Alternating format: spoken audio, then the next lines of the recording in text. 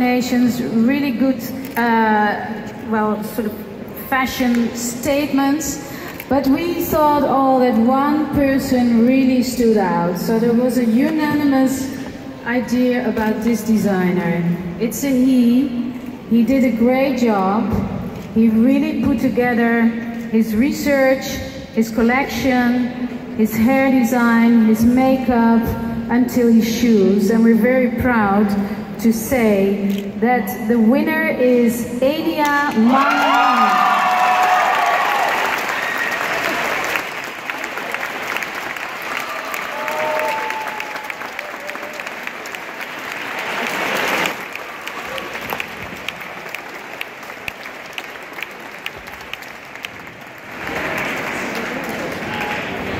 Elia, I just want to ask you, how does it feel to have no sleep, I think for maybe 48 hours, and now be the winner? Um, actually, this collection is really personal for me, because this collection is actually talking about the political situation that's happening in my country, and it's talking about the timeline of what's happening in my country, that our country, Indonesia, is now on the mental revolution, and that's why um, I really want to speak out through this collection, and thank you so much, and um, Indonesia, we did it.